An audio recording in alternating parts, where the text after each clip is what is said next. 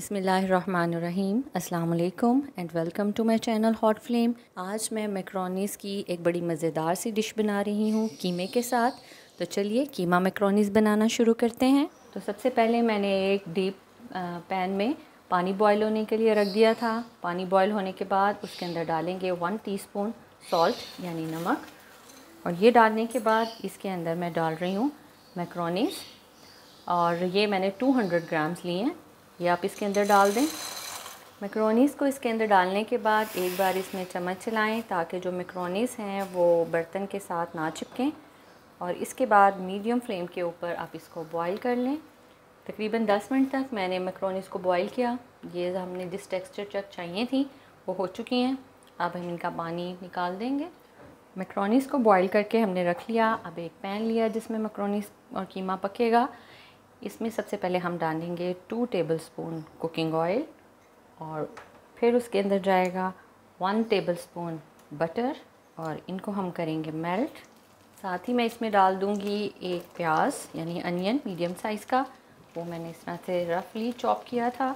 इसको हम अब इसमें सोते करेंगे। हमने इसको ब्राउन नहीं करना, बस हमने इसको नरम करना है इन प्याज़ों को। मीडियम फ्लेम पर रखकर हम इसको पकाएँगे। दो मिनट तक इनको पका लिया है और प्याज जो हैं वो आप देख सकते हैं, उनका कलर चेंज हो गया है, वो नरम हो गए हैं। इसके अंदर अब जाएगा वन टीस्पून गार्लिक पेस्ट यानी कि लहसुन का पेस्ट ये इसमें डाल के इसको हम थोड़ा सा एक मिनट के लिए पकाएँगे। हीट जो है वो आपने मीडियम पर रखनी है। लहसुन की बड़ी प्यारी खुशबू आ रही है और इस स्टेज पर अब मैं इसमें ऐड करूँगी कीमा। 200 ग्राम्स मैंने मकरोनीस ली हैं और 200 ग्राम्स ही मैं इसके लिए कीमा लूँगी। आप कीमे की क्वांटिटी जो है वो प्लस या माइनस कर सकते हैं। कीमे को भी इस के अंदर मैं मीडियम हीट के ऊपर अच्छा सा फ्राई कर लूँगी ताकि कीमे की जो एक अपनी स्मेल होती है वो ख़त्म हो जाए। ये देखिए जी, दो से तीन मिनट तक मैंने इसको अच्छी तरह से भून लिया है और इसका सारा जो पानी था, कीमे का अपना, वो ड्राई हो चुका है। अब इसका जो फ्लेम है, उसको मैं करूँगी स्लो पर और इसमें सीजनिंग ऐड करूँगी।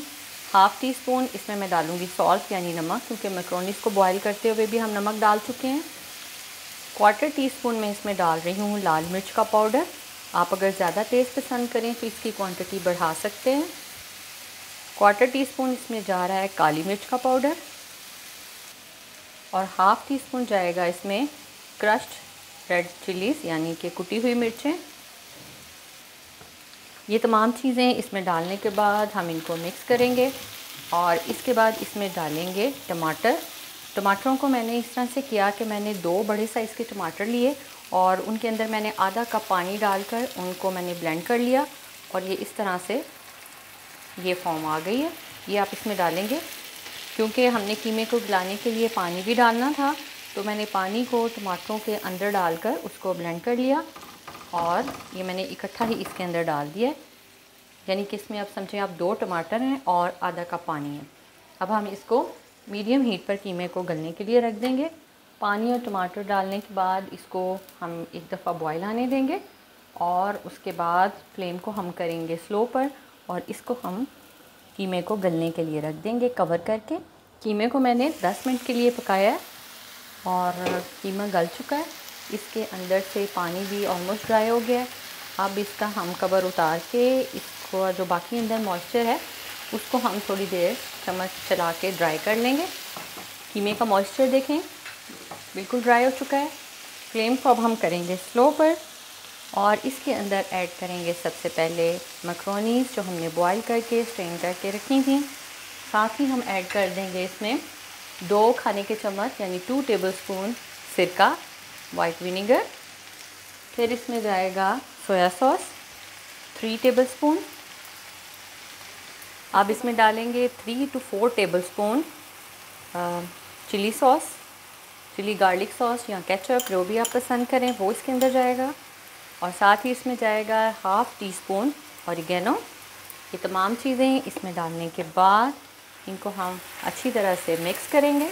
अब इस स्टेज पर हम इसको ज़्यादा कुक नहीं करेंगे क्योंकि फिर ये बिल्कुल ड्राई हो जाएँगी। फ्लेम को करेंगे ऑफ़ और इसको करेंगे सर्व तो ये मैंने सर्व कर दी हैं बहुत मज़ेदार सी कीमा मकरोनीस आप इसको ट्राई करें।